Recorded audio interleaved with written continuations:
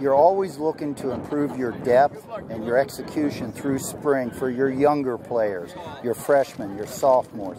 And if you look at today, those are the guys who made some plays for us today. Luke Johnson at quarterback throwing two touchdown passes. Ian Palin, a freshman tight end, running that long touchdown. Dan Nye making a couple big catches there. And then on defense, some of your freshmen and sophomores making plays for you.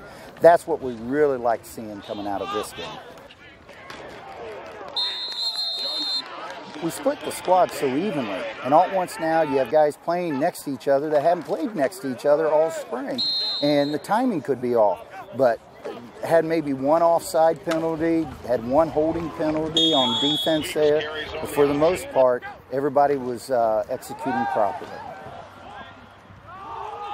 Uh, it's a long time coming. Spring ball is a lot of work.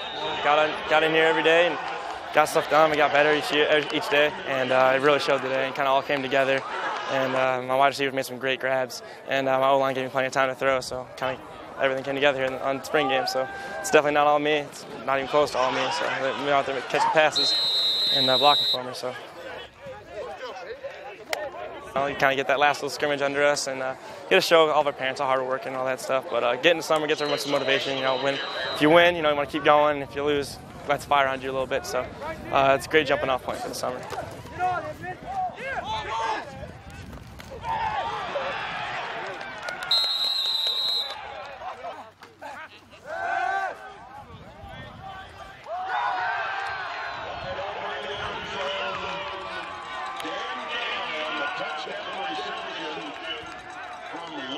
しない。